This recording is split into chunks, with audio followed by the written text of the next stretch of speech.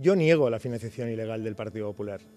Evidentemente, lo que está pasando estos días dicen lo contrario, pero yo niego esa financiación. Es triste que el derecho a la defensa incluya la obligación a la ofensa.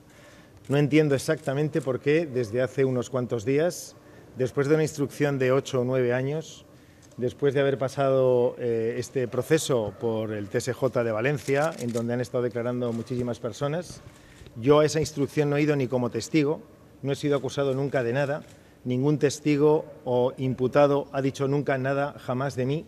De repente, en estos últimos días, solo se esté hablando de mi nombre. Es imposible que nadie pueda decir en concreto nunca nada de mí, jamás, porque nunca di ni una orden para una actitud irregular o ilegal en cualquier ámbito, ni de la Administración Autonómica de la que tuve honor de ser presidente, ni del Partido Popular de la Comunidad Valenciana. Ningún empresario podrá decir nunca jamás que haya recibido ninguna indicación o propuesta o mm, señal para hacer ningún tipo de aportación de una manera u otra al Partido Popular de la Comunidad Valenciana cuando yo era presidente. Ningún empresario, ni nadie podrá decir jamás que yo haya eh, dicho que se hiciesen las cosas fuera de lo que es la legalidad.